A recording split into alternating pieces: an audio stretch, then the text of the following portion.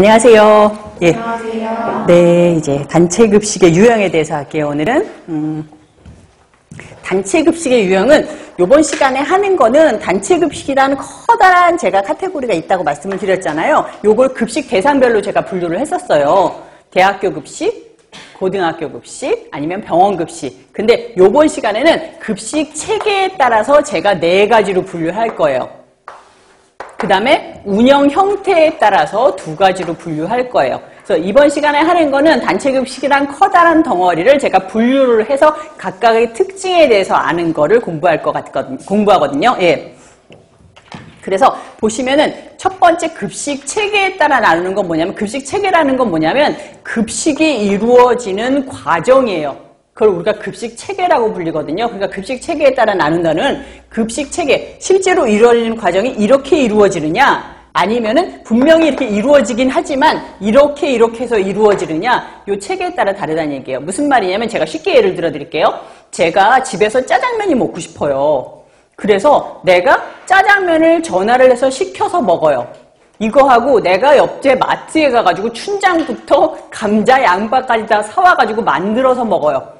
이거는 분명히 과정이 둘이 다르지만 결국 짜장면을 내가 먹는다는 건 똑같죠.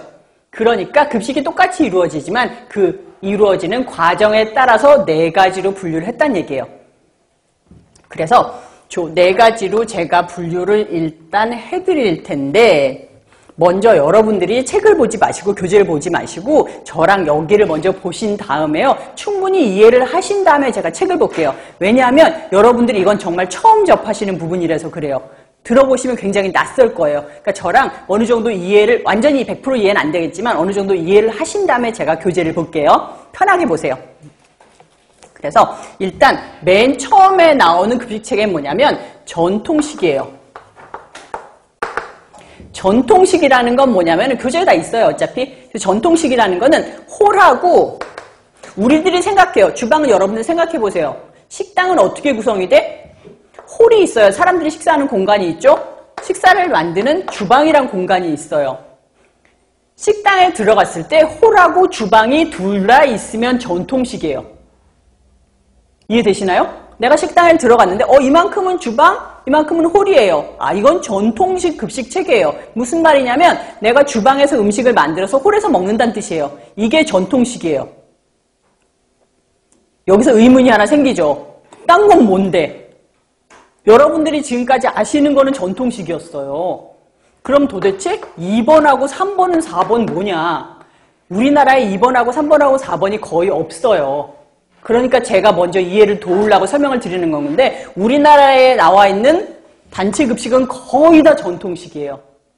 그래서 요거는 전통식은 이해하셨을 텐데 그래서 두 번째 뭐냐면 중앙 공급식이라는 게 있어요. 아예 없는 건 아니고 조금은 있는데 중앙 공급이라는 건 뭐냐면 중앙에서 센트럴 키친 우리가 CK라고 불리는 센트럴 키친에서 중앙 조리장에서 음식을 만들어서 갖다 날르는 거예요. 예를 들어 드릴게요.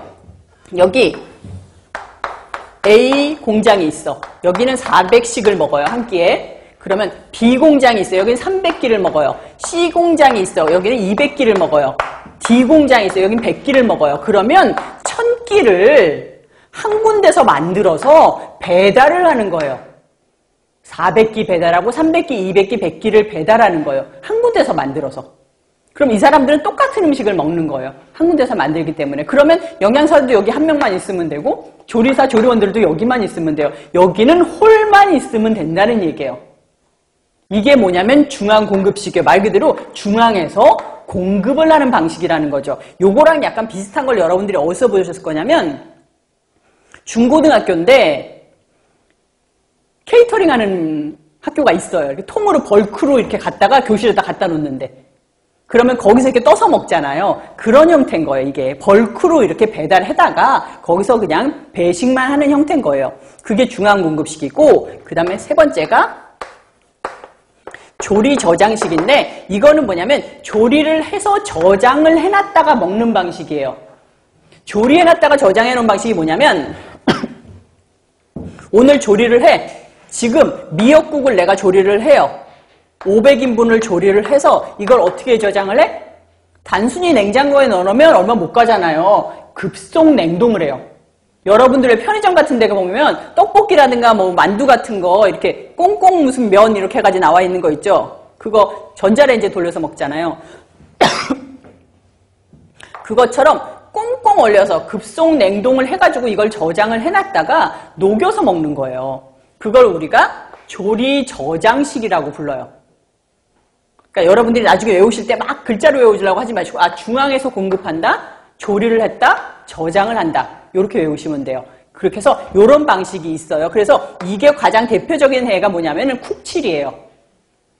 여러분들 기내 비행기 타시면은 꽁꽁 얼려놨던 거 먹기 직전에 전자레에서 급하게 돌려서 줘요. 그게 꽁꽁 얼려놨던 거거든요. 그래서 엄청나게 뜨겁잖아요. 그냥 일반적으로 데운 거보다 냉동해놨던 거 돌리는 게 훨씬 뜨겁잖아요. 그렇게 해서 주는 게 그게 기내식의 가장적인 일반적인 형태라는 거죠. 그 다음에 마지막으로 조합식이 있어요. 우리 편의점 할 때 편의식 있죠? 그게 조합식이거든요. 말 그대로 조합을 한다는 뜻이에요. 이렇게 조합. 무슨 말이냐면 우리 주방이 없어. 예. 그러면은 어떻게 만드냐면 내가 간편식품 다 만들어진 걸 사와. 이거는 분명히 이거하고 틀려요. 음식을 어디서 배달해 오는 게 아니라 내가 만들어진 걸 사와서 반조리 된 거를 그냥 조합만 하는 거예요. 무슨 말이냐면 오늘 저녁에 카레밥이 나갈 거예요. 카레 덮밥이 나갈 거예요. 그럼 내가 3분 카레를 사와. 햇반을 사와. 그래서 예, 전자레인지 돌려서 조합만 해서 주는 거 그것이 카레 덮밥